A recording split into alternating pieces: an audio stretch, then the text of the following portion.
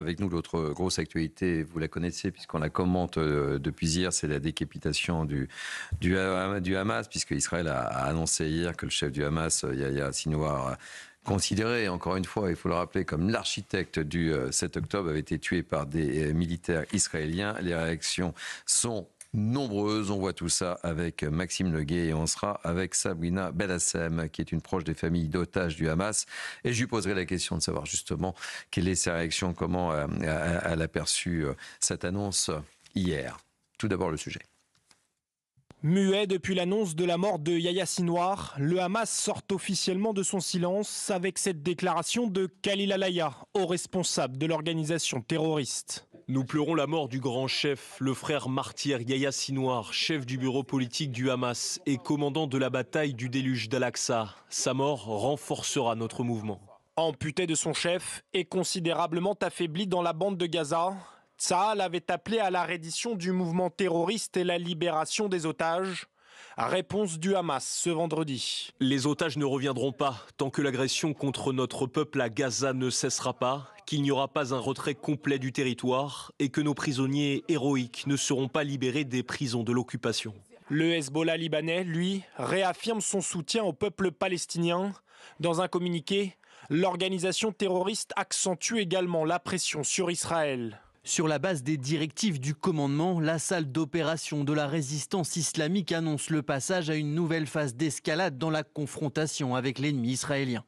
L'Iran, allié du Hezbollah et du Hamas, appelle également à poursuivre le combat contre Israël. Les outils du Yémen, eux, jurent que la cause palestinienne triomphera, quelle que soit l'ampleur du sacrifice. Euh, votre réaction, euh, Jean-Marie Le Guen, sur euh, cette annonce, et, je rappelle que le Hamas a annoncé cet après-midi refuser de libérer les otages à Gaza sans cesser le feu. Le moment est très, très important finalement. évidemment, c'est un soulagement de voir un terroriste comme celui-là mis hors d'état de nuire. Mais le moment, on devrait s'interroger je pense en particulier euh, tous ceux qui sont attentifs à l'avenir du peuple palestinien et au peuple palestinien lui-même. Où mènent euh, ces pseudo-résistants? Où mènent-ils leur peuple? Où est leur victoire?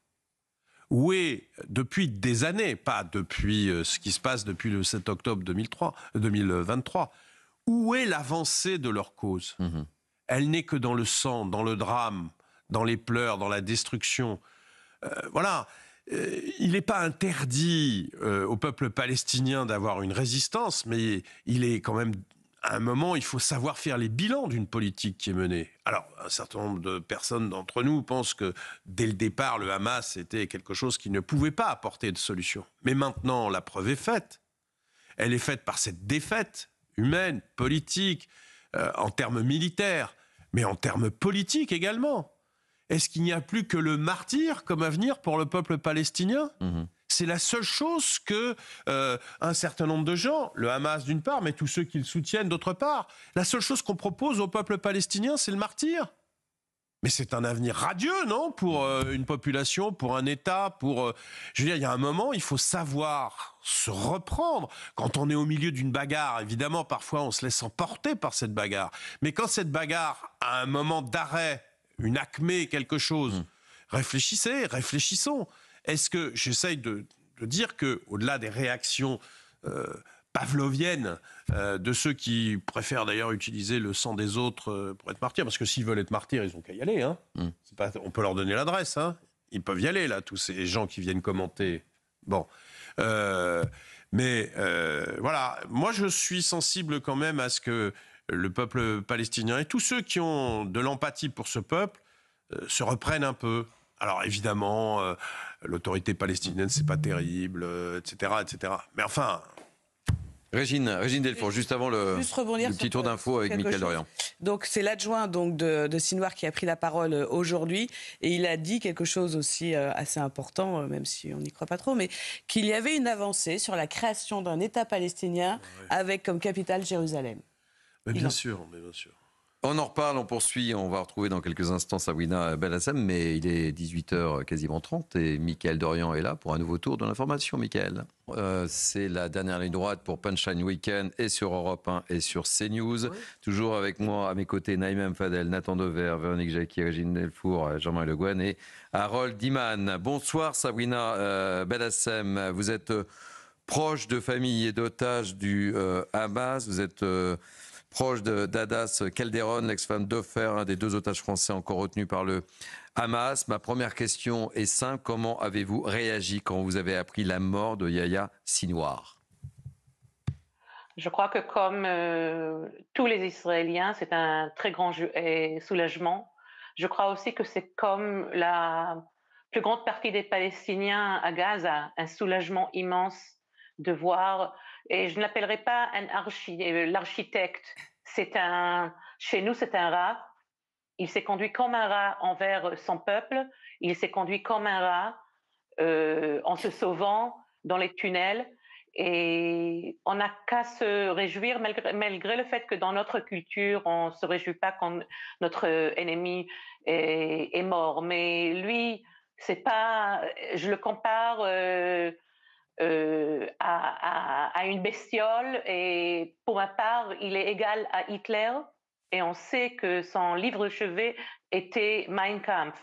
Alors pour un, un sale rap comme lui, nous sommes vraiment très réjouis euh, de sa mort et enfin, je crois que l'obstacle euh, a été éliminé et enfin on va pouvoir de nouveau parler du sort des otages et de faire tout pour les sortir là-bas.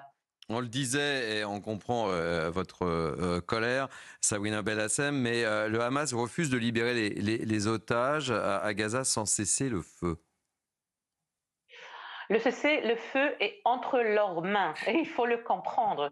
Jusqu'au 6 octobre dernier, il y avait le cessez-le-feu. Le jour du 7 octobre, et je recommande de lire le livre d'Adas, 52 jours sans eux, elle décrit vraiment exactement euh, minute par minute euh, ce, qui s'est passé ce jour maudit. C'est eux qui, qui, ont envahi Israël, qui ont fait un programme. Nous, on était dans notre jour de fête, le jour de Simchat de Torah de Sukkot. Symboliquement, et Sinoir, le rat Sinoir a été éliminé le premier jour euh, de Sukkot. Alors, il faut maintenant arrêter les discussions qui n'ont aucun euh, aucune valeur. Et, s'ils veulent cesser le feu, c'est à eux de cesser le feu. Euh, dernière question, Sabrina. Dernière question. On a beaucoup reproché au Premier ministre israélien de ne pas avoir anticipé cette attaque du, euh, du 7 octobre. Hein. il y a un grand nombre de, manifestations qui se sont déroulées devant le domicile du Premier ministre israélien. Quel regard portez-vous, puisqu'on se souvient que Benjamin Netanyahu a dit et avait dit qu'il irait jusqu'au bout. Quel regard portez-vous aujourd'hui sur le Premier ministre israélien? Israël, euh, Israël est depuis un an dans un état de guerre. Nous avons perdu presque 2500 personnes depuis un an, jour pour jour. On n'a pas, tout le monde sait que Netanyahou va donner, euh, il, va falloir qu'il démissionne, il va falloir, mais ce n'est pas le temps maintenant de, de, penser eh, à mon regard par rapport à Netanyahou et par rapport au jour où ça s'est arrivé. Le jour où c'est arrivé, il y a de nombreux, euh, nombreuses personnes en Israël qui sont coupables. Mais ce jour-là, on va, et une fois qu'il y aura le cessez-le-feu et une fois que tous nos euh, kidnappés seront en Israël de nouveau, les vivants et les morts aussi, c'est là qu'on en parlera de ce qui s'est passé ce jour. Là, on est, on est dans un état de guerre, on est dans un état de survie. Autour de nous, il y a plusieurs pays qui veulent notre mort, qui veulent nous anéantir. Maintenant, le Hamas parle. Le, Hamas a été anéanti. Le fait que ce soit euh, un groupe politique, et, moi personnellement, euh, euh, je, ne, leur donne pas ce crédit-là d'être un groupe politique. C'est un groupe de terroristes et il faut leur parler comme ils le savent. À ce moment, ce que j'ai à dire, c'est que pendant un an, il y a M. Macron qui nous accompagne et fait des efforts pour libérer les otages. Il y a deux otages français. Là, c'est son temps à lui pour prouver qu'ils peuvent faire quelque chose. Et la première chose à faire, c'est de parler aux Qataris. Pendant longtemps, on nous a dit que les Qataris étaient le lien avec Sinoir, le lien avec Hamas. Les Qataris eux-mêmes ont dit que c'était très très difficile d'être en lien avec euh, Sinoir. Sinoir est mort. Maintenant, il faut mettre de côté tous les intérêts économiques qu'on le sait. Il y a des intérêts économiques entre la France et le Qatar. Et la France ne peut pas e-, e-, être euh, vraiment très forte avec le Qatar et leur dire maintenant arrêtez les histoires, c'est tout, ramenez les, les, les, otages et il y aura la paix à Gaza. Nous, on veut la paix. On ne veut pas vivre en état de guerre. Merci beaucoup, Sabrina euh, Bellassem. Je rappelle que vous êtes proche de, de famille d'otages Hamas. Euh, Merci d'avoir accepté de de témoigner et sur Europe 1 et sur CNews. On marque une pause, on poursuit le débat dans quelques instants. Restez avec nous. Il est quasiment 18h40. Merci de nous accueillir et sur Europe 1 et sur CNews. C'est la dernière ligne droite pour votre Punch and Weekend. Toujours avec moi, Naïm Fadel, Nathan Dover, Véronique Jacquier, Régine Delfour, Jean-Marie Le Guen et Harold Iman. Euh, réaction, euh, on écoutait euh, il y a quelques instants Sabrina Bellassem, donc proche de famille d'otages. Vous souhaitiez réagir, Régine Delfour, puisque vous êtes allé de nombreuses fois, tout comme Harold, en Israël, à Gaza. Racontez-nous un petit peu. Oui, en fait, quand on entend euh, Sabrina Bellassem, qui elle, est très proche de Adas Calderon, Adas Calderon qui a perdu, euh, son mari, Ofer, est toujours dans, son ex-mari est toujours dans la bande de Gaza. Ses deux enfants ont été euh, enlevés et kidnappés.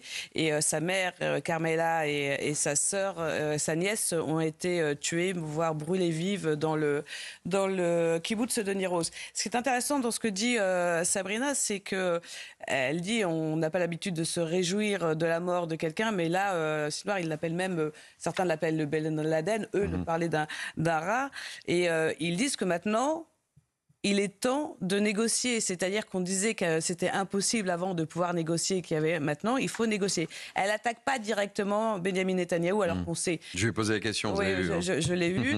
Elle l'attaque pas directement, mais on sait que il y a des manifestations, il y en aura une qui sera mm. énorme demain à Tel Aviv comme euh, tous les, samedis. Et là, ils vont demander vraiment euh, que les euh, otages rentrent sans condition. Il va falloir accepter peut-être un cessez-le-feu. Ou... Mais elle le dit aussi, Israël est attaqué sur, plusieurs fronts. Ils sont attaqués sur sept fronts. Mm-hmm. Là, il y a encore en ce moment des attaques dans le nord d'Israël, il y a des tirs du Hezbollah, ça, ne s'arrête pas. Mm. Ils sont en guerre. Et là, la priorité, c'est le retour des otages. Euh, Harold Iman, la, question que j'ai envie de vous poser ce soir, et, maintenant, euh, et cette réaction que, je vous sommets, euh, la mort de Sinoir est une opportunité pour avancer vers un cessez-le-feu. C'est ce que vient de déclarer le Premier ministre britannique Keir Starmer. Et maintenant, et maintenant, le jour d'après. Il faut regarder à Washington. Et à Washington, le président Biden a dit un cessez-le-feu est possible au Liban, mais plus difficile à Gaza. Bon, ça. Donc, personne n'a de plan pour euh, exploiter immédiatement ce petit moment de frémissement d'espoir, c'est-à-dire que euh, au Liban, le Hezbollah est plus ou moins maîtrisé, euh, le Hamas est fracassé, même s'il continue d'envoyer des missiles n'importe comment sur Israël et comme depuis le premier jour, sans aucun but stratégique, enfin tactique. on a l'Iran qui ne bouge plus, qui dit si euh, Israël attaque, ça va être grave, en représailles de l'attaque des, des, missiles iraniens du 1er octobre. Bref, tout est en suspens. Donc, en gros, Israël bombarderait un peu l'Iran, l'Iran riposterait un tout petit peu, et on s'en tiendrait à ça, et là, on commencerait à négocier. Ça, c'est le plan utopique, mmh mais qui peut exister dans la tête des euh, dirigeants étrangers. Et euh, c'est Biden et Kamala Harris, pour l'instant, qui donnent des petits signaux en ce sens. Et les Européens suivront immédiatement, parce qu'on n'a plus vraiment de rôle. Et on ramènera les gens du Golfe pour faire l'intermédiation, les Émiratis, les Qatariens, qui ont eu assez de proposer des cessez-le-feu que tout le monde rejetait. Bon, au bout de la quatrième fois, ils se sont arrêtés. Et euh, autre réaction, les outils du Yémen qui ont rendu évidemment sans surprise hommage à Yahya Sinoir et affirment haut et fort que Gaza triomphera. Oui, Réaction sans été, surprise. hein. euh, largement bombardés hein, Ouais, hier ouais. par euh, l'aviation américaine. Allez, Nathan, euh, un, dernier mot sur le sujet, parce que je voulais qu'on parle de l'autre préoccupation des, des Français, évidemment. Ce sont les inondations, les crues. On va être euh, dans quelques instants avec le colonel Vincent Honoré, qui est directeur départemental du SDIS Ardèche. Mais tout d'abord, dernier mot sur, la- Alors, sur le déjà, sujet. je, je me trompe peut-être, mais je pense qu'il manque le dernier acte enco- encore de cette guerre, qui à mon avis va avoir lieu, euh, qui va être une attaque euh, israélienne contre l'Iran, Hmm. Euh, qui est mûrement euh, réfléchie euh, et qui, à mon avis, devrait être, je pense, assez spectaculaire. Pour deux raisons. D'abord parce qu'il y a une porosité très très grande des services de renseignement israéliens en Iran. Et deuxièmement, parce que s'il fallait nommer la guerre qui a lieu depuis le 7 octobre 2023, je pense que c'est pas tellement euh, un, moment du conflit israélo-palestinien qu'une sorte de nouvelle guerre entre Israël et l'Iran, dans la mesure où les attaques du 7 octobre, d'ailleurs, visaient le territoire historique d'Israël depuis 1947, qui n'avait pas de revendication territoriale, qui n'avait pas vraiment de revendication politique, et que c'était davantage à, lire euh, à travers la, perspective plus large de la déstabilisation de la région euh, par l'Iran. Maintenant, sur Gaza, la perspective, j'étais très sensible à ce que vous disiez sur le fait que le peuple palestinien mérite un autre que, l'avenir d'être martyr. La question va être, à mon avis, demain ou en tout cas après-demain, de reconstruire Gaza, d'abord euh, humainement, de reconstruire les bâtiments, les villes de Gaza, et puis de reconstruire politiquement Gaza. Ce qu'il faut quand même rappeler, c'est qu'en 2005, quand Israël s'est retiré de Gaza, il y avait cet espoir du côté israélien et du côté palestinien que Gaza puisse devenir le Singapour du Moyen-Orient, un nouveau Singapour. Et, évidemment que ça a été, un, ça a été un, drame absolu et que les Palestiniens aujourd'hui se sont dans une, euh, en, quelque sorte, entre le Hamas qui les a euh, poussés vers ce nihilisme de la mort et de la barbarie, et euh, une autorité palestinienne qui a été extrêmement faible, corrompue, avec des blocages politiques, pas d'élection depuis 2006, et qui a été absolument incapable quand même aussi de porter leur cause, notamment sur la Cisjordanie.